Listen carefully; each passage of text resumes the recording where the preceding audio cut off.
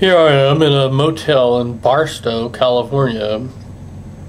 I am stuck here because the rear end, the differential on my vehicle, once again is ruined.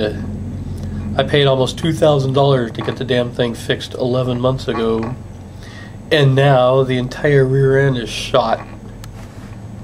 I have no idea what the fuck to do. I can't afford to have the damn thing repaired.